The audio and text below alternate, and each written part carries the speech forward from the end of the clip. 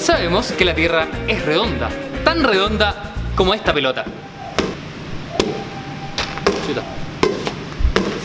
Pero siglos atrás, esto que puede parecer tan obvio era una completa incógnita. Una gran incógnita. No, una gran, pero gran y absoluta incógnita. El punto es que hace muchos años creían que la Tierra era cuadrada o incluso plana. Así que, ¿cómo llegamos a entender que la Tierra era redonda sin tener que salir al espacio exterior? Pasamos a nuestra sección La historia en 40 segundos. Un señor llamado Eratóstenes, ahí por el año 200 a.C., realizó una observación extraordinaria al leer unos antiguos escritos que encontró en la Biblioteca de Alejandría, donde se describía que al mediodía, en el día de solsticio, las torres de la antigua ciudad de Siena no proyectaban sombra. Este hecho contrastaba con lo observado ese mismo día y momento en Alejandría, 900 kilómetros al norte, donde las torres sí proyectaban una sombra sobre el suelo. Eratóstenes concluyó que esto explicaba que la Tierra no era plana, sino que curva, y que si lograba medir las sombras, junto con la distancia entre ambas ciudades, sería posible estimar el tamaño de nuestro planeta.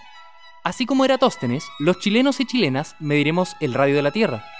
Un dato con valor mundial, made in Chile. Y ahora nuestra sección Hágalo usted mismo.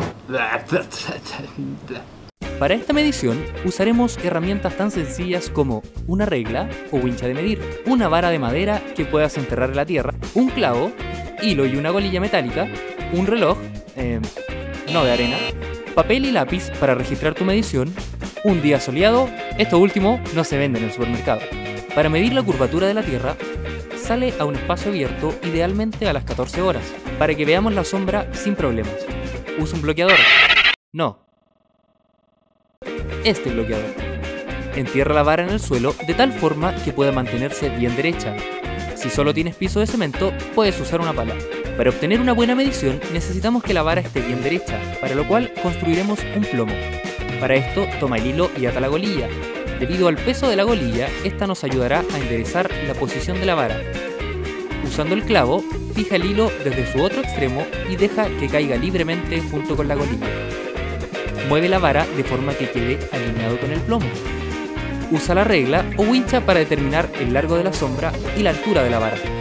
Registra tu medición en el papel junto con la hora en que la realizaste. Si no puedes hacer la medición a las 14 horas, no te preocupes, anota la hora y listo. Sube esos datos a la web www.diadeastronomía.cl y listo. Con esta información, más la de todos los chilenos y chilenas que compartan sus datos, podremos medir el radio de la Tierra. Así que, a medir. Y ojo, que las winchas de medir pueden ser adictivas. Mejor concéntrate en tu vara y la sombra. ¡Suerte!